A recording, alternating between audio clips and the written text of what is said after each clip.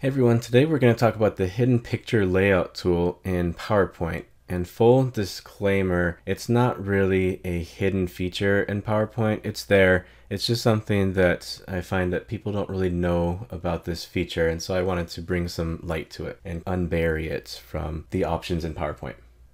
So we're going to start with a blank PowerPoint slide and I'm going to add some assets to this slide. We're going to put in some stock photography. And I'm going to narrow this down to camping pictures and we'll just select some pictures that we have available here. You can see that the pictures are various dimensions and sizes. They're all high resolution because I'm using the Microsoft stock photography from the premium content, but they're all different sizes. And so right now they're all selected. If they're not selected, press Control A to select them all. And in the pictures format ribbon, we're going to look for this picture layout button. This is a drop down that will convert our pictures into SmartArt. And you can see there are various layouts and options, and a lot of these are really fun.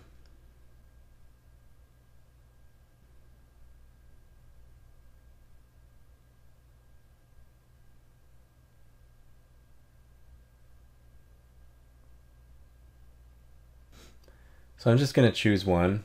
I think these hexagons are good. Now this acts just like SmartArt. I can move the images within the SmartArt. I can type in text if I want. It adds these little embellishments as well. But what some people don't know is that even though this is SmartArt, you can convert it back into images. And it's going to retain the shapes. So essentially, it puts these images within a shape, within a hexagon. You can ungroup it by pressing Ctrl Shift G or right click and ungroup. And now all of these elements are individual shapes.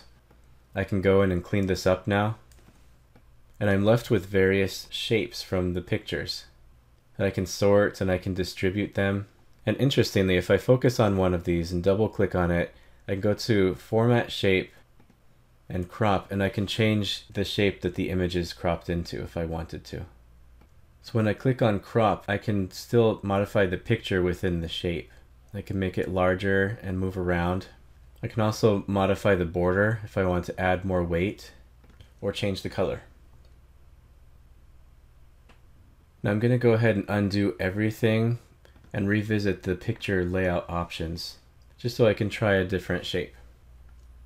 I'll convert the SmartArt to shapes, Control Shift G to delete the elements, and then I can pull apart the shapes. It's a good way to have all of the shapes unified in the same size and the same shape all at once.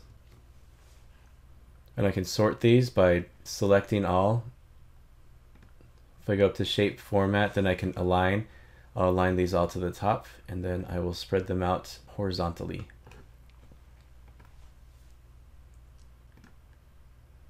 And just reiterating, if I select one of these and go up to picture format and crop, then I can make sure that I have the precise element of the picture within the shape, including changing the size, maybe dialing it in a little bit. And then an interesting thing is if I highlight all of the shapes at the same time, I can go up to shape format and I can make some formatting modifications to all of them, such as change the border color and the width and any picture effects that I want.